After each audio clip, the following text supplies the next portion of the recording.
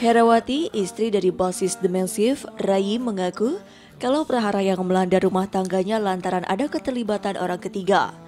Masalah dalam rumah tangganya menurut ibu satu anak ini hanyalah berawal dari hal sepele, namun selalu dibesar-besarkan karena turut campur orang ketiga tersebut. Herawati pun mengaku sudah capek menjalani kehidupan suami istri bersama Rai dan memilih untuk berpisah. Kalau dipikir-pikir ya, aku juga mikir hal sepele ya hal sepele bisa jadi gede seperti ini. Ya kalau nggak ada campur orang lain juga nggak mungkin lah ya.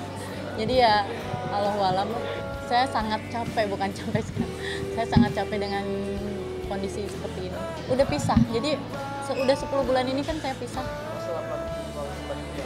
ya jadi aku di Bandung dan Rai di Jakarta aku tinggal di rumah orang tua Sejak 10 bulan terakhir, Herawati dan Rai sudah hidup terpisah. Rai di Jakarta, sedangkan Herawati bersama orang tuanya tinggal di Bandung. Saat ditemui, wanita berusia 27 tahun ini mengisahkan kesedihan yang terpancar dari wajahnya, apalagi orang tua Rai juga seakan merestui perceraian mereka. Saya 27 dan Rai 23. Sebetulnya enggak juga kan ya, bukan karena usia lah. Karena emang dua-duanya keras kepala aja kali ya.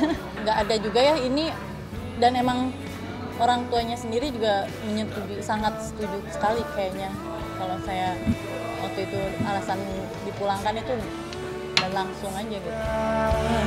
Kau sakiti aku